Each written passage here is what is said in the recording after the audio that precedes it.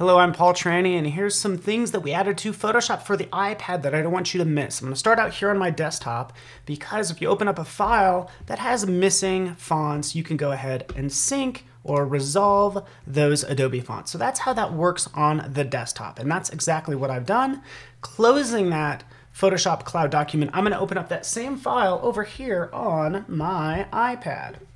So here I am on my iPad. We can see that same file, right? And I'm going to open it and if you blink, you'll miss it. Basically, what just happened is it synced those uh, Adobe fonts. So it's basically Adobe font auto activation. Happens behind the scenes, happens fast, and I can go in and edit it and do what I need to. I'm to add a little bit more to this really fast just by coming in here using select subject to magically select that deer, mask it out, and make this look a little bit more magical. But in order to do that, I'm actually going to jump into Fresco.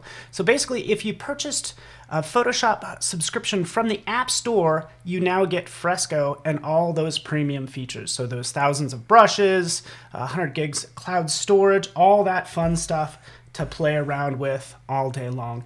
And feel free to use some of that content in your file like I did here with that fun little bird and making the scene look a little bit more magical. So check them out today, both of them. Thanks so much for watching.